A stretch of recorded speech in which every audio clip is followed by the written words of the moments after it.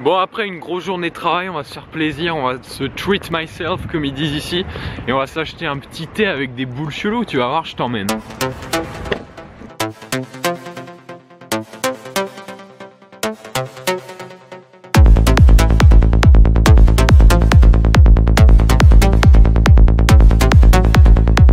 Donc là on est dans le Chinatown d'Adelaide, tu vois. Sais, je t'avais dit, il y a un Chinatown dans à peu près toutes les grandes villes australiennes. Et là on y est quoi.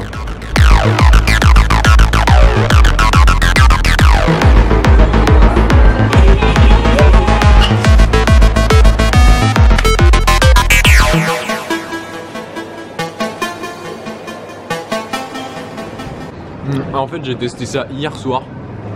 Et c'est une espèce de thé avec euh, des perles cheloues. C'est noir. Et c'est vénère et j'adore boire ça. Il y a un fou qui me parle là sur la droite. En fait, je suis à côté d'un. Un fou, pas forcément un fou, mais bon. Je suis à côté d'un truc de donation, tu sais. euh, je pense qu'il y a pas mal de ouf qui traînent par là, tu vois. Il est reparti là, mais. C'était chaud. On va peut-être bouger du coup, tu vois. J'ai pas envie de me faire bouffer. Et salut, c'est Egon. Et, euh, et bah, on s'est déjà vu. Et tu m'as vu me taper des barres avec mon petit. euh, avec mon, mon petit lait là. C'est vraiment vénère, hein. franchement, ça, fait partie des trucs que j'ai vraiment envie de me prendre après le, après le taf, même si je sais que c'est pas la meilleure chose. Non, je, me fais une petite exception des fois, tu sais. Des fois, faut se faire un petit peu plaisir et c'était le cas aujourd'hui. Et, euh, et je suis content de te retrouver dans cette nouvelle vidéo. Et aujo- aujourd'hui, je voudrais te parler du concept de, zone de confort, mais un peu d'une façon différente. Tu sais, dans la vie, il y a deux choses. euh, y en fait, il y a, y deux piliers majeurs qui déclenchent des, ch- des changements de situation, tu vois, qui déclenchent des grands changements. Tu sais, dans des situations où t'es es à la limite ou au bord du craquage, ou alors euh, euh, il y, a- il y a le, tu sais, le pot se remplit trop et quand on est vraiment dans la situation de la goutte qui fait déborder le vase, T'as deux trucs majeurs qui, qui jouent un rôle et qui, qui sont la cause de tous les grands changements.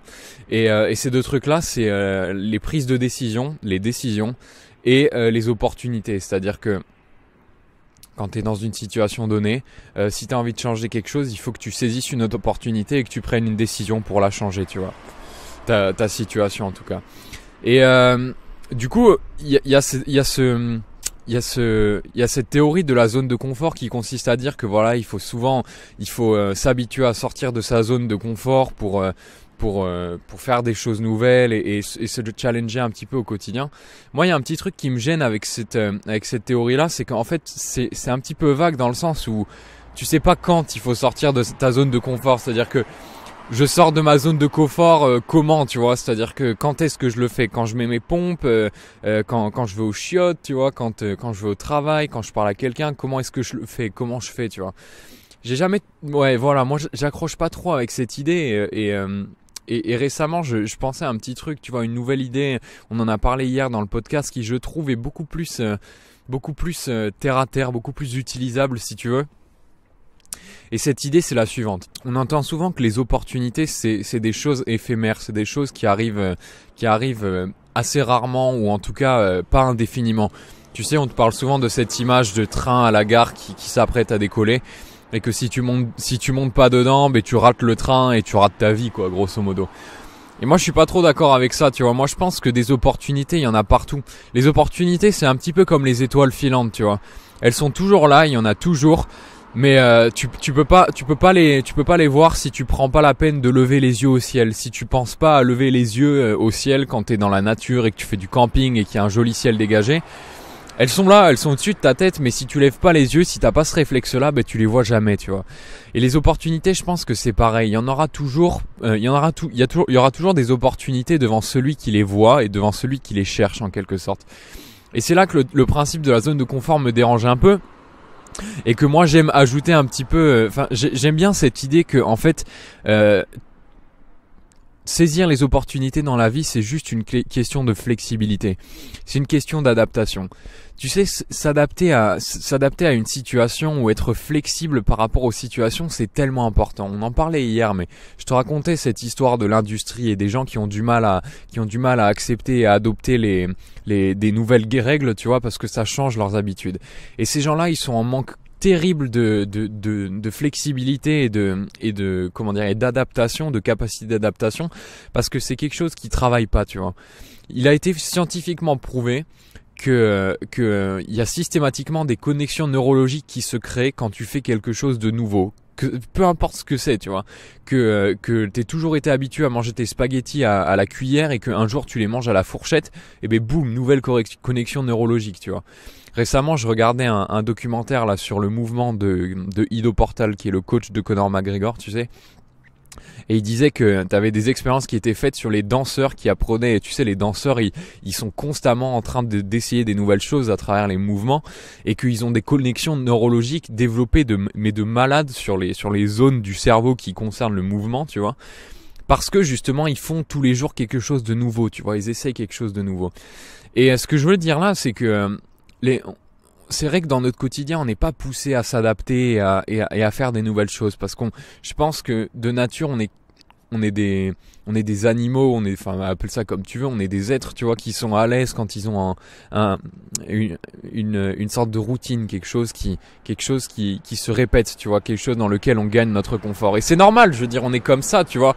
Euh, L'animal, il est fait pour survivre, tu vois. Si nous, on peut se mettre dans une routine qui nous permet de vivre et de survivre, bah c'est normal qu'on ait envie d'y rester. Le truc, c'est le truc, c'est ça, c'est que les opportunités, les opportunités, tu peux pas les saisir si t'as pas, si, tu les captes pas, tu vois.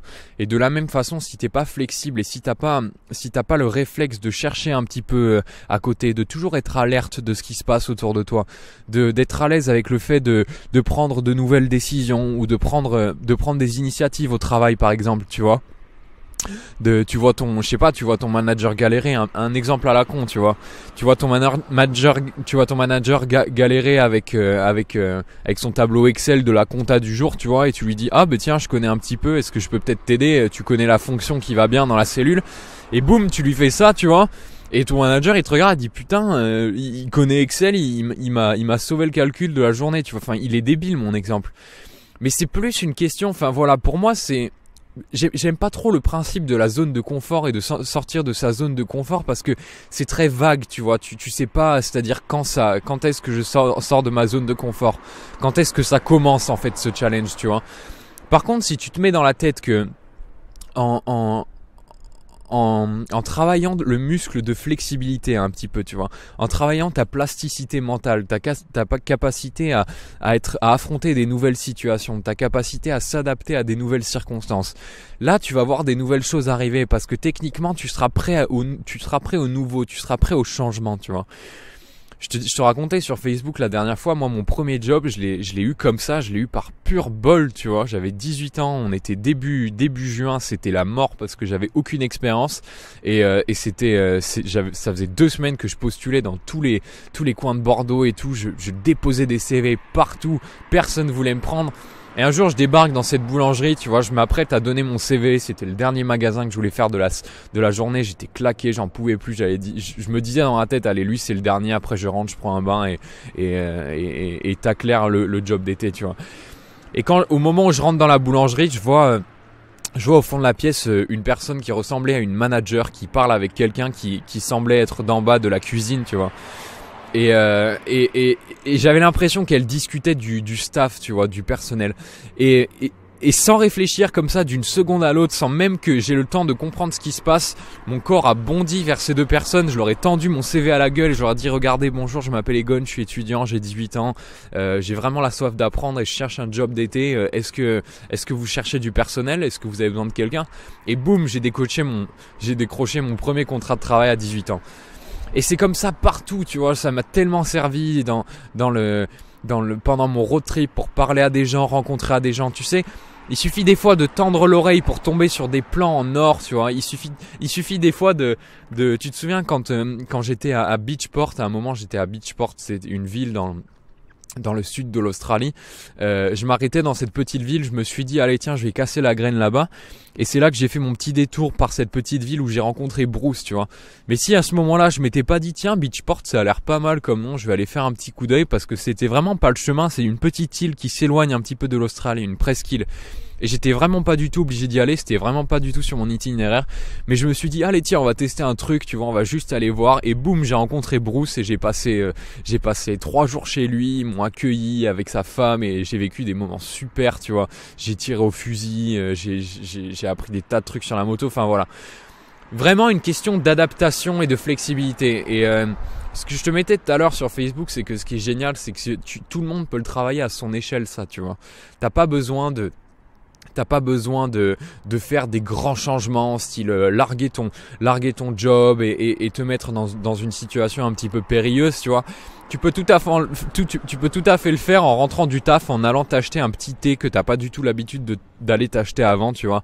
En parlant au petit chinois du coin ou au petit épicier turc là, tu vois, en lui disant salut, comment ça va? alors que tu l'as jamais parlé en, bouffant tes spaghettis avec une cuillère au lieu d'une fourchette, en, levant les yeux pour regarder les étoiles filantes un soir où le ciel est dégagé plutôt que de mater le dernier épisode de Game of Thrones, tu vois. C'est quelque chose qui se travaille et ça paraît, ça paye pas de mine comme ça, tu vois. On dirait, ça paraît, ça paraît vraiment insignifiant, mais tu verras que ça fait vraiment la différence. Essaye juste. Je te mets au défi d'essayer, tu vois. Je te mets au défi de, te mettre comme ça pendant une semaine et à te dire ok je vais travailler ma capacité de flexibilité. Et tu vas voir que ça va te faire des miracles. Et voilà, moi c'est tout ce que je voulais te dire pour aujourd'hui. Je vais finir un petit peu mes graines de soja chelou là. En tout cas, voilà, euh, euh, je te mets vraiment au défi de le faire et, dis-moi, on pourrait en reparler dans, dans, une semaine. On pourra en reparler. Tu vas me dire ce que ça a donné. En tout cas, moi d'ici là, je te laisse. Merci d'avoir regardé cette vidéo et j'espère que ça t'aura apporté un petit peu de valeur. Je te dis à la prochaine. Prends soin de toi. Ciao.